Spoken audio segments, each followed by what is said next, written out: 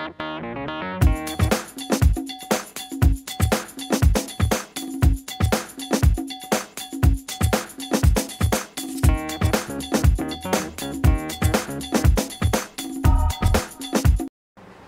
to Jaz food book നമുക്ക് chicken cake എങ്ങനെ ഉണ്ടാക്കുന്നത് നോക്കാം. അതിന് വേണ്ടിയിട്ട് ഞാനിവിടെ ഇരുന്നൂറ് ഗ്രാം എല്ലില്ലാത്ത ചിക്കൻ എടുത്തിട്ടുണ്ട്. ചിക്കനിൽ ഒരല്പം മഞ്ഞൾപ്പൊടിയും ഒരര ടീസ്പൂൺ കുരുമുളകിന്റെ പൊടിയും അല്പം ഉപ്പും ഇട്ട് ഒരല്പം വെള്ളം ഒഴിച്ചിട്ട് കുക്കറിൽ രണ്ട് വിസിലടിച്ച് വേവിച്ചെടുത്തതിന് ശേഷം ഗ്രൈൻഡറിൽ ഒന്ന് കറക്കിയെടുത്താണ് ഇനി നമുക്കൊരു ഗ്രൈൻഡർ എടുക്കാം. അതിലേക്ക് ഒരു ഒരു ടീസ്പൂൺ മല്ലിയില ഇട്ട് കൊടുക്കുക രണ്ട് പച്ചമുളക്. ഇതിലേക്കൊരു നാല് മുട്ട പൊട്ടിച്ചു വെച്ച് കൊടുക്കാം.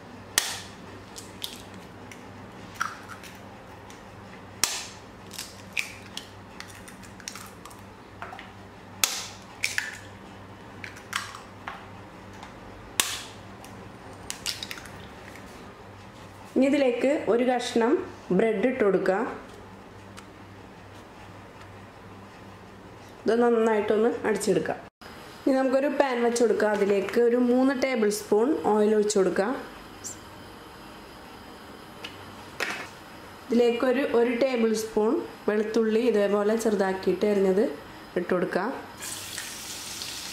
അര ടേബിൾ സ്പൂൺ ഇഞ്ചി ഇതേപോലെ ചെറുതാക്കിയിട്ട് എറിഞ്ഞിട്ട് കൊടുക്കാം. പിന്നെ കുറച്ച് വേപ്പില ലെമൺ ചെറുതാക്കിയിട്ട് എറിഞ്ഞിട്ടുണ്ട്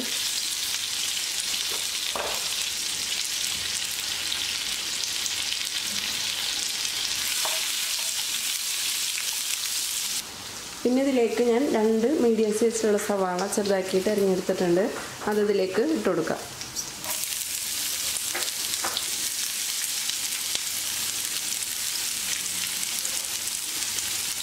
ആവശ്യത്തിന് ഉപ്പിട്ട് കൊടുക്കാം.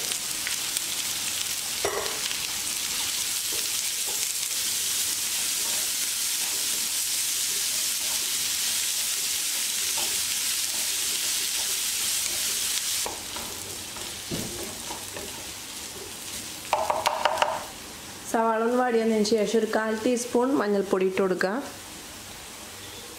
അര ടീസ്പൂൺ കുരുമുളകിന്റെ പൊടി. അര ടീസ്പൂൺ ഗരം മസാലപ്പൊടി അര ടീസ്പൂൺ പെരഞ്ചീരത്തിന്റെ പൊടി ഇട്ട് കൊടുക്കുക. അര ടീസ്പൂൺ മുളക് പൊടി ഇട്ട് കൊടുക്കുക. പൊടികളുടെ പച്ചമണം മാറുന്നവരെ ഒന്ന് മാറ്റി കൊടുക്കുക.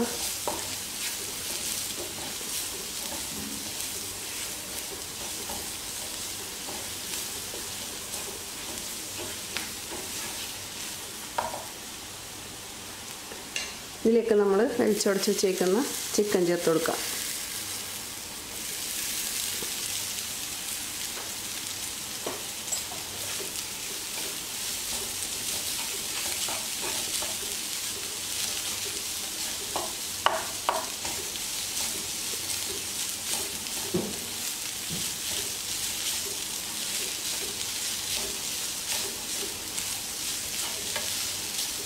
ചിക്കനിലേക്ക് മസാലയൊക്കെ നന്നായിട്ട് പിടിച്ചതിന് ശേഷം ഗ്യാസ് ഓഫ് ചെയ്യാം. ചിക്കൻ മസാല നമുക്ക് വേറെ ബൗളിലേക്ക് ഇട്ട് കൊടുക്കാം.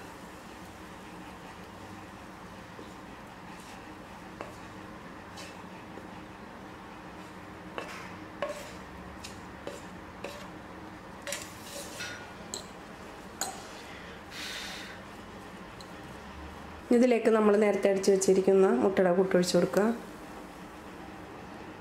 ചൂടാറിയതിന് ശേഷം വേണം കേട്ടോ ഒഴിച്ചു കൊടുക്കാൻ വേണ്ടിയിട്ട്.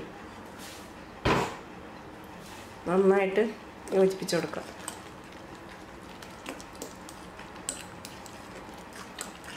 ചിക്കൻ കേക്ക് ഉണ്ടാക്കാൻ വേണ്ടിയിട്ട് ഞാനിവിടെ എടുത്തേക്കുന്നത് കുക്കറാണ്. അപ്പോൾ മൂന്ന് ലിറ്ററിന്റെ കുക്കറാണ് കേട്ടോ എടുത്തേക്കുന്നത്. കുക്കറിലാകുമ്പോൾ എളുപ്പത്തിൽ നമുക്ക് ഉണ്ടാക്കിയെടുക്കാം. കുക്കറിലും ഉണ്ടാക്കാം നോൺ സ്റ്റിക്കിന്റെ പാത്രത്തിലും ഉണ്ടാക്കാം കേട്ടോ.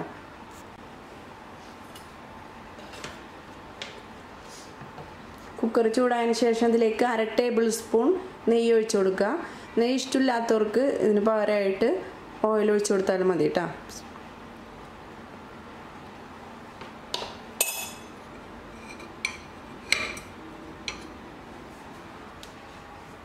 ഇതിലേക്ക് നമുക്ക് ചിക്കന്റെ കൂട്ടിട്ട് കൊടുക്കാം.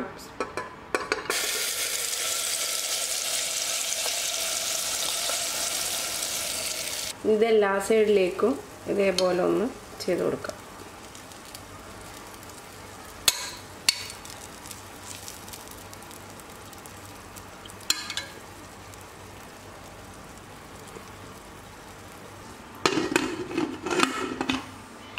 കുക്കറിന്റെ മുടി വെച്ച് കൊടുത്തതിന് ശേഷം ഒരു അഞ്ച് മിനിറ്റ് ഒന്ന് മീഡിയം ഫ്ലെയിമിൽ നമുക്കിതൊന്ന് വേവിച്ചെടുക്കാം.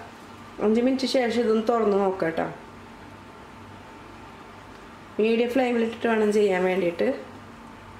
കുക്കറിന്റെ വിസിലൊക്കെ ഉണ്ട് കേട്ടോ.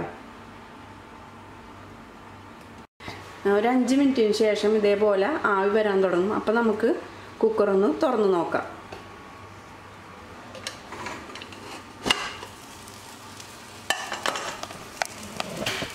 കേക്കിന്റെ അടിയൊക്കെ റെഡിയായി വന്നിട്ടുണ്ട്.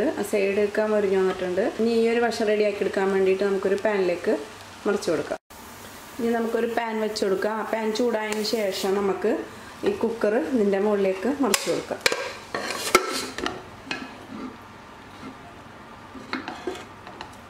കണ്ടില്ലേ? അടി റെഡിയായി വന്നിട്ടുണ്ട്. ഒട്ടും തന്നെ കരിഞ്ഞൊന്നും പോയിട്ടില്ല. കുക്കറിന്റെ അടിയിലൊന്നും പിടിച്ചിട്ടൊന്നുമില്ല കണ്ടില്ലേ?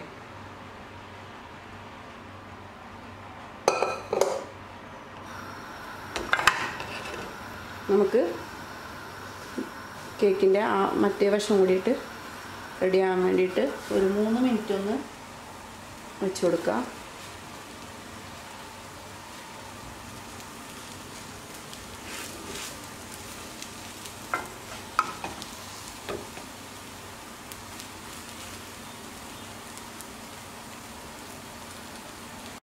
അപ്പോൾ നമ്മുടെ ചിക്കൻ കേക്ക് റെഡി ആയിട്ടുണ്ട്. നമുക്കൊരു പ്ലേറ്റിലേക്ക് മാറ്റാം. അപ്പോൾ നമ്മുടെ ഇഫ്താർ പാർട്ടികളിലേക്ക് ഏറ്റവും എളുപ്പത്തിൽ ഉണ്ടാക്കാൻ പറ്റിയിട്ടുള്ളതാണത്. അപ്പോൾ എല്ലാവരും ട്രൈ ചെയ്ത് നോക്കാം അഭിപ്രായങ്ങൾ അറിയിക്കുക. അപ്പോൾ അടുത്ത വീഡിയോ ഇട്ട് വരുന്നവരെ. Okay bye C U